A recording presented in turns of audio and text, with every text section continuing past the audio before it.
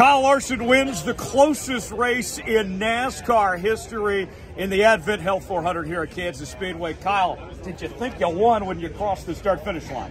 Well, initially I, I, thought, yeah, I thought I had won, and then it sounded like, you know, through timing this morning we didn't, and I was okay with that because I knew it was obviously close, and was just happy to uh, to uh, be a part of a close finish like that. But yeah, then I got to turn three after the checker, and my spotter was going crazy. So just uh, couldn't believe it. Haven't seen a replay yet, but um, just uh, amazing to be a part of a cool finish like that. No matter you know kind of how the result ends up. Obviously, I'm happier because I won, but um, I, like I said after the checker, I was I was happy to finish second. Just you know have a you be a part of a finish like that. What does this do for your team to win?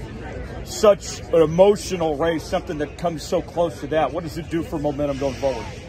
Yeah, I don't know. I mean, I think you got to wait and see till next week. But um, you know, we, we've been running really strong all year. We've been executing great. Um, we've been in position to win it a handful of times, and um, you know, we, we probably weren't the deserving winner tonight, but our team executed again, and um, we got the win. So just uh, you got to do that. It's tough to win these Cup races, and you know, we have some good tracks coming up for us. Um, just got to keep keep performing at a high level and hope we can keep running up front or, or win some more races. You're running the Indy 500 here in a few weeks. What does this do for you to start the month of May with a bang like this?